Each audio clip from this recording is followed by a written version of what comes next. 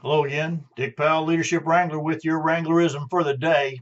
This one's entitled "Success is Requ- Success Requires These Things: the ability to be act, be action oriented, to be results focused, to be accountable for decisions made, and to have a clear, specific, compelling opportunity that provides